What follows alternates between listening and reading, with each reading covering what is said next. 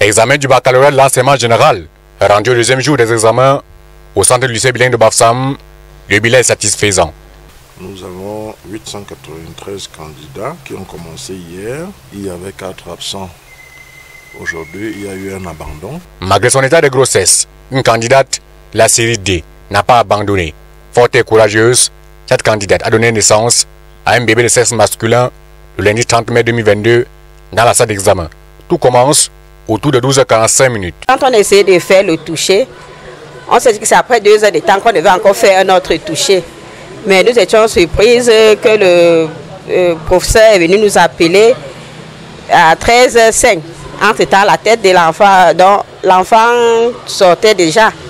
Mais Dieu merci pour nous que nous avons pris le matériel à l'infirmerie, les pinces, les compresses. Nous sommes allés faire l'accouchement. La famille a été est aussitôt déployée. Sa maman est venue directement avec les habits de l'enfant. Donc quand elle a accouché, même il y avait il y a les habits de l'enfant. Bien, elle a fait d'un gros bébé, presque 3 kg, 300, 3 kg, 400.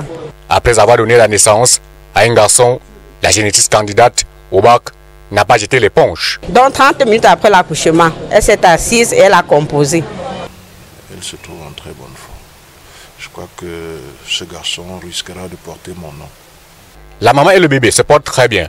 Si le bébé était à la maison, la mère, candidate au bac, poursuit sereinement son examen au lycée bien de Bafsam.